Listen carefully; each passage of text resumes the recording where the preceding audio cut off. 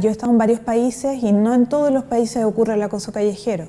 Hay países en donde uno puede transitar por las calles tranquilamente, pero sin embargo en Chile esto se ve casi como algo cultural, normalizado.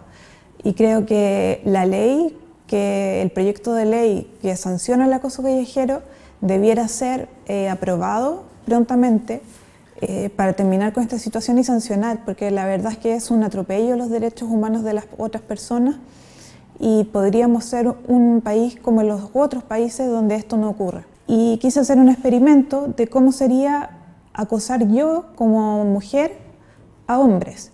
Y lo que sucedió fue que los hombres al acosar parecerían ser muy valientes, ¿no es cierto? Pero cuando ellos son acosados se intimidan bastante, se achunchan bastante. Yo creo que el llamado es a no seguir con el acoso callejero, a terminarlo, a ponerse en el lugar de las mujeres que no nos gusta que nos estén acosando, a ponerse en el lugar de los otros. Eh, y creo que con eso podríamos terminar con esta situación.